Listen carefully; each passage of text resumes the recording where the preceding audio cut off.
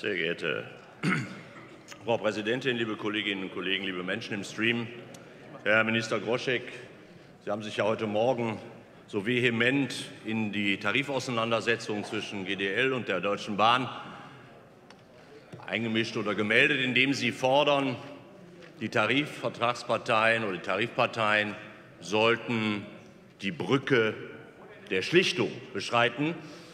Also abgesehen davon, dass man darüber denken kann, wie man will, ob die Politik sich jetzt in Tarifauseinandersetzungen einmischen soll oder es besser lassen sollte, könnte es natürlich sein, dass die Brücke der Schlichtung marode ist oder eben jedenfalls bröckelt und vielleicht sogar auch schon komplett defekt ist, so wie die Tausenden von Brücken im Lande Nordrhein-Westfalen, egal ob auf Bundesfernstraßen, auf Landesstraßen.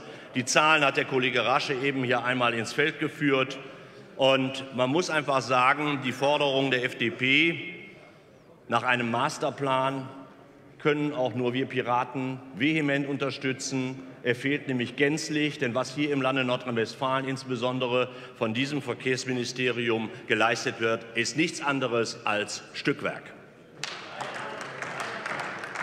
Wir Piraten in Nordrhein-Westfalen machen uns angesichts der, möchte mal sagen, beängstigenden Situation auf Nordrhein-Westfalen Straßen, insbesondere den Brücken, ernsthaft Gedanken, ob nicht der mehr oder weniger Untätigkeit, die Diskussionen, Herr Kollege Glocke, die da geführt werden mögen, sind ja schön, aber Taten werden gefordert, die Untätigkeit dieser Landesregierung in der Verkehrspolitik am Ende nur noch mit einem Tempolimit von 60 oder ähnlich auf allen Brücken in Nordrhein-Westfalen abgeholfen werden kann. Vielleicht könnte es helfen, dass den Menschen in diesem Lande endlich einmal vor Augen geführt wird, von welcher miserablen Politik sie im wahrsten Sinne des Wortes ausgebremst werden. Im Grunde müsste man also das Tempolimit, ob nun 60, 70 oder 80, schon jetzt präventiv einführen, denn es kommt aufgrund der fehlenden Landesstrategie über kurz oder lang, wahrscheinlich eher über kurz, sowieso wie wir schon jetzt an verschiedenen Brückenstellen im Lande Nordrhein-Westfalen erkennen müssen. Und dies nicht erst seit gestern, sondern schon seit Jahren. Denken wir beispielsweise an die Brücke in Leverkusen. Die Verkehrspolitik des Landes Nordrhein-Westfalen ist, und auch das wurde hier schon betont, da wird ja gerne dem einen oder dem anderen mal wieder was vorgeworfen von den schon seit langem in diesem Hause vertretenen Parteien, eine jahrzehntelange Geschichte des Versagens insbesondere des Versagens insofern, als die Rücklagen nicht gebildet wurden, die, es, die eben die Landesregierung heute in die Lage versetzen könnte, auch tatsächlich die Brückensanierung anzupacken.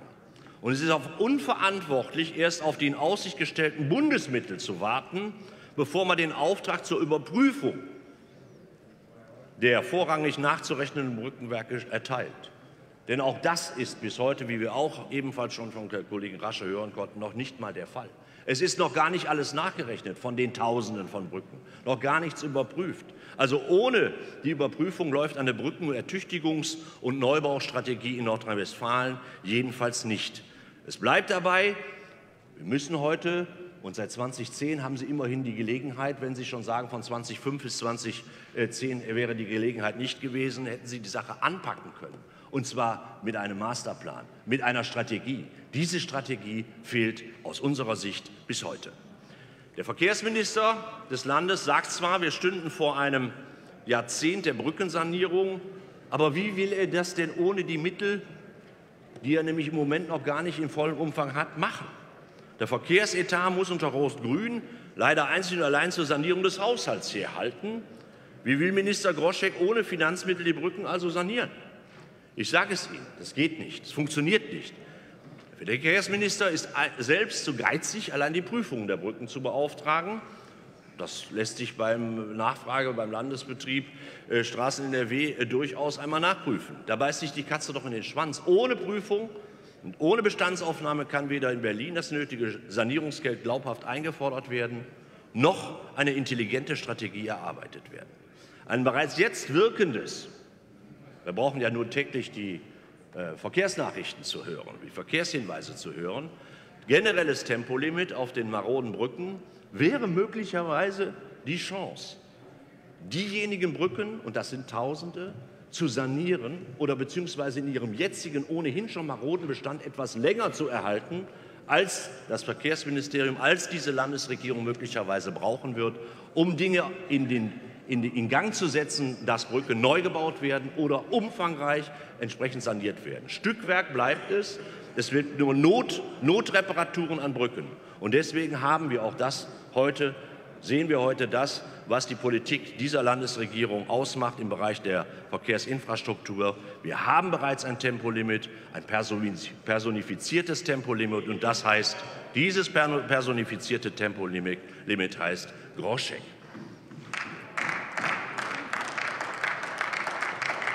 Ihr Motto bei den Brücken lautet, ich bezahle und zücke die Krücke für die Brücke, aber erst dann, wenn die Vollsperrung droht. Und auch hier wieder totale Sparflamme.